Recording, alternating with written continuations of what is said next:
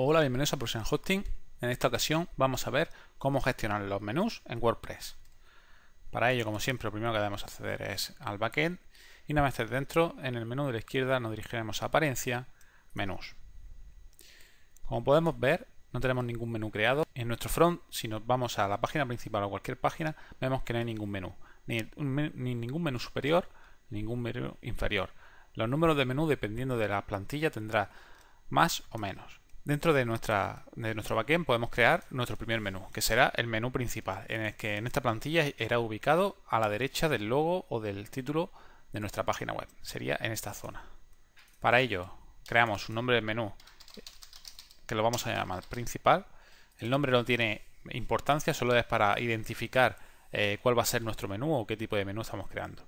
Para ello ponemos el nombre de menú y damos a crear menú. Una vez que tenemos creado el menú, lo único que tenemos que ir añadiendo a esta zona, en la estructura del menú, las, los enlaces que queremos eh, que aparezcan en nuestro menú.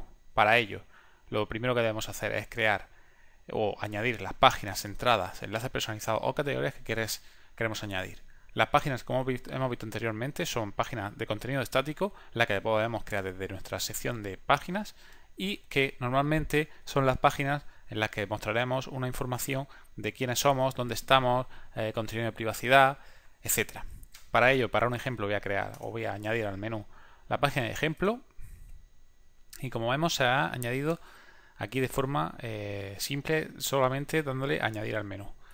Si desplegamos podemos ver la etiqueta de navegación. Esta etiqueta de navegación va a ser el nombre con el que se va a mostrar el enlace en nuestro menú. Por ejemplo, si nosotros tenemos una página que se llama página X, pero en el, menú queremos cambiar el nombre y que no aparezca ese nombre, desde aquí podríamos cambiarlo. Por defecto se va a poner el mismo título, el mismo nombre que tiene la página. Ahora vamos a añadir eh, dentro de nuestro menú una, entrada, una entrada que hayamos eh, insertado anteriormente, como tenemos aquí, pues vamos a añadir la entrada de eh, galería de imágenes, por ejemplo. Lo mismo, seleccionamos y le damos a añadir. Como vemos, aparte de, las más recientes, tenemos varias pestañas que ver todas, que serían todas las entradas que tenemos, incluso un buscador para buscar por el nombre. Directamente cuando le das a añadir, como vemos también se ha añadido aquí y ya se ha creado dos eh, enlaces en nuestro menú. Como vemos al ponerlo encima nos aparece la pequeña cruz en la que podemos mover de forma sencilla si queremos que esté uno por encima del otro, uno antes que el otro. O incluso si queremos hacer desplegables, bastaría con arrastrar y cuando vemos que se ha desplazado un poco hacia la derecha, esto quiere decir que esta, este enlace de aquí colgaría de la página principal de ejemplo y sería un desplegable de, de este enlace. Vamos a dejarlo así y ahora lo que vamos a añadir va a ser un enlace personalizado. Por ejemplo, el enlace personalizado lo que quiere decir es que le puedes poner la URL que nosotros queramos y el texto de enlace. Por ejemplo, vamos a poner, eh, vamos a hacer un enlace hacia nuestra página web y con el texto hosting, por ejemplo, le damos a añadir al menú y como vemos se ha creado aquí otro, otro enlace hacia el menú un enlace personalizado en el que podemos poner lo que queramos.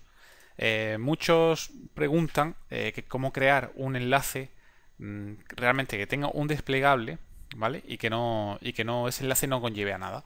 Si no queremos conllevar a nada, eh, por ejemplo, si queremos que tenga un, menú que sea hosting y, de, un, con el desplegable que ponga VPS, hosting compartido, etcétera, lo que debemos poner es un enlace personalizado con la URL, en vez de poner una URL cualquiera, ponemos una almohadilla. Al poner una almohadilla poner un texto de enlace, por ejemplo, VPS, le damos a añadir este de aquí, no va a enlazar a nada y lo único que va a hacer va a ser que se despliegue para ver los otros. Si ahora cogemos nosotros esto de aquí y lo ponemos como desplegable, ahora cuando lo veamos en el front veremos que solo este eh, no tiene ningún enlace y lo único que hace es la función de desplegable para ver el contenido interno de, este enlace. Y por último, la última opción sería la de categorías, en la que podemos insertar una categoría de, nuestro, de nuestras entradas. Como podemos ver, tiene las mismas opciones, más utilizadas, ver todo y buscar, por el cual podemos seleccionar y añadiendo los enlaces que nosotros queramos a las diferentes categorías que tengamos creadas. Para ello seleccionamos y le damos a añadir, como siempre. Como vemos, se añade de forma automática y lo único que nos faltaría sería guardar menú. Una vez que tengamos guardado el menú, nos dirigimos al front y como vemos, este menú sigue sin aparecer en ningún sitio. ¿Por qué? Porque aunque hayamos creado el menú, no lo hemos asignado a ninguna posición. Si queremos asignar a la posición primaria, que normalmente es la, posición de las plantillas, pues la que está al lado del logo justo debajo, o lo que sería el menú principal, el menú de todas las páginas que tienen principalmente para navegar por ellas, en WordPress es llamado menú primario. Lo único que deberíamos hacer sería seleccionarlo y darle a guardar menú. Ahora si nos dirigimos al front, veremos que si actualizamos están las páginas o los enlaces en el menú que hemos creado. Y como os digo, si nos ponemos encima podemos ver las eh, diferentes desplegables que tiene todas las pestañas. Y como vemos anteriormente, como hemos dicho, si nos ponemos en VPS, aunque yo pinche, no nos va a acceder a ningún sitio. Sin embargo, si ya pinchamos dentro del submenú, sí nos va a dirigir a donde hayamos puesto el enlace.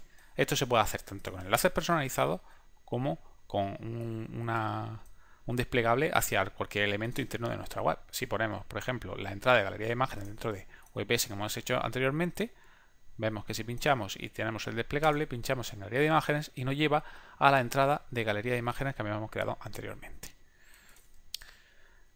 Esto dependiendo de, cada plantilla pues tendrá más opciones de menú o menos opciones de menú.